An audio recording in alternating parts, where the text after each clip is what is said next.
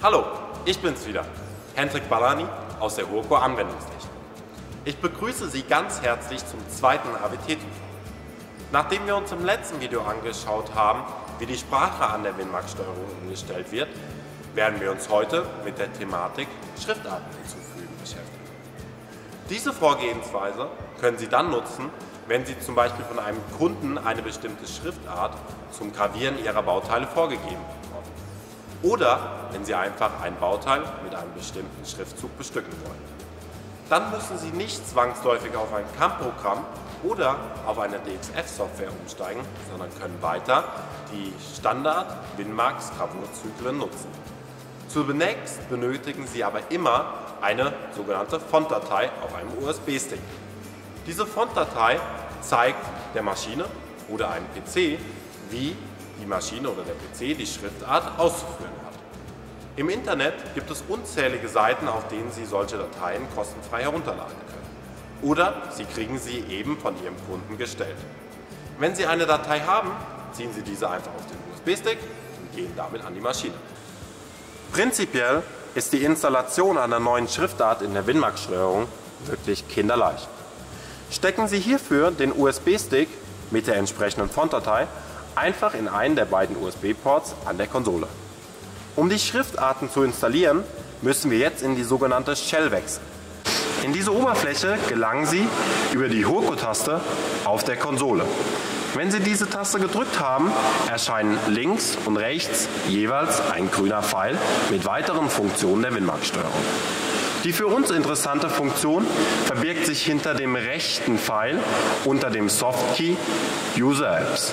Dort haben wir nämlich hier den Softkey Install New Font.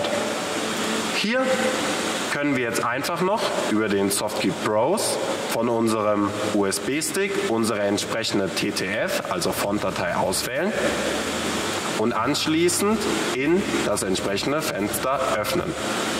Über den Softkey Install Font können Sie die gewünschte Schriftart jetzt einfach auf der Maschine installieren.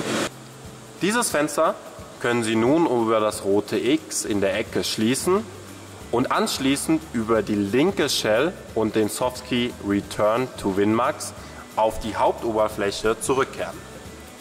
Wenn Sie die Maschine nun einmal neu gestartet haben, können Sie die installierte Schriftart nutzen. Sie können die Schriftart sowohl im TrueType Schriftzeichen fräsen als auch auf der Mantelfläche nutzen.